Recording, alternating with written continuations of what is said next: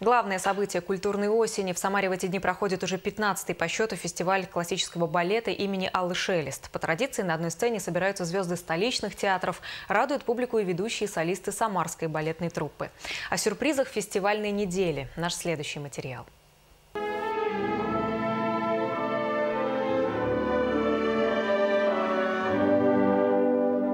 Каждое движение безупречно. Звучит Чайковский, фрагмент из балета «Щелкунчик». Дуэт Натальи Крапивина и Георгий Смелевский в жизни семейной пара на сцене еще раз переживает историю любви.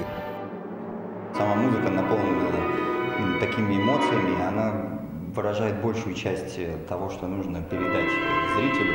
Поэтому даже нам как бы в помощь не нужно стараться чего-то дополнительно изобразить, потому что музыка, вот вы даже слышите сейчас из «Спящей красавицы» фрагмент, это просто она будоражит сама по себе. На самарских подмостках балетмейстера ведущих театров страны Станиславского, Немировича Данченко, Мариинки. Симфоническая музыка в сочетании с совершенством грации завоевывает сердца зрителей уже после первого отделения. Посмотреть русский классический балет прибыли даже гости с берегов Сены.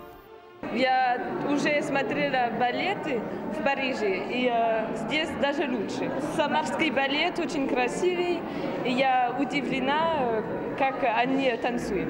«Лебединое озеро», «Спящая красавица», «Щелкунчик». Впереди еще три вечера фестиваля имени Аллы Шелест, который в этом году посвящен 175-летию великого Чайковского. Данил Беленин, Матана Трагимова, Константин Тахтаров. Вести Самара.